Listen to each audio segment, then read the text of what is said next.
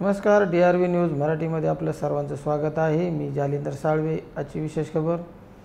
महाराष्ट्र शासन राज्यभर electric charging स्टेशनचे जाळे उभारणार. राज्य सरकारचा महत्त्वाकांक्षी प्रकल्प. दिवसेंदिवस इंधनाचे दर गगनाला भिडत असल्यामुळे राज्य सरकारने हा महत्त्वाकांक्षी प्रकल्प हाती घेतला आहे. पेट्रोल डिझेलचे दर दररोज नवनवीन विक्रम करत असतानाच तुलनेने स्वस्तात चालणाऱ्या विजेवरील वाहनांची विक्री वाढू लागली आहे. राज्याची गरज लक्षात घेऊन महाराष्ट्राला विजेवरील वाहनासाठी चार्ज करण्यासाठी राज्य सरकारने महत्त्वाकांक्षी योजना हाती घेतली आहे. यात सिंधुदुर्गपासून गडचिरोलीपर्यंत तीन वर्षात पाच हजार चार्जिंग स्टेशन उभारली जाणार आहेत. पेट्रोल डिझेलचे दर शंभरी पार झालेले आहेत.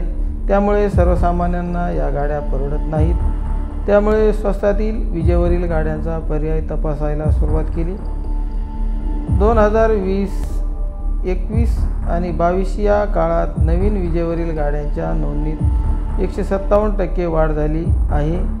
त्यामुळे पेट्रोल पंपावर चार्जिंग स्टेशन उभारण्याचा निर्णय राज्य सरकारने घेतला आहे. गडचिरोली ते सिंधुदुर्ग दरम्यान ही स्टेशन्स उभारली जातील अशी माहिती उपमुख्यमंत्री अजित पवार यांनी दिली. राज्य सरकारने पाच हजार चार्जिंग स्टेशन उभारण्याचा महत्त्वाकांक्षी प्रकल्प आखला आहे. हे काम दोन हजार पंचवीसपर्यंत पूर्ण केले जाईल. येत्या तीन वर्षात विजेच्या वाहनांची संख्या दहा टक्क्यावर जाणार आहे तर सार्वजनिक वाहतुकीच्या विजेची वाहनांची संख्या पंचवीस टक्के असेल.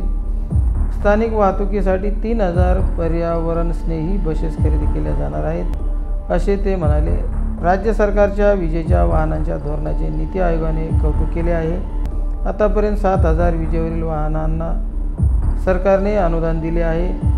तसेच ई वाहन धोरणांतर्गत उद्योगांना नऊ हजार कोटी गुंतवणुकीचे प्रस्ताव दिले आहेत. यामधून दहा हजार नोकऱ्या निर्माण होऊ शकतात असे अजित पवार यांनी सांगितले. अशाच प्रकारच्या चालू घडामोडी व जगभरातील बातम्या पाहण्यासाठी पाहत राहा D R V news Marathi. D R V news मराठीला सबस्क्राईब करा लाईक करा शेअर करा कमेंट करा. धन्यवाद.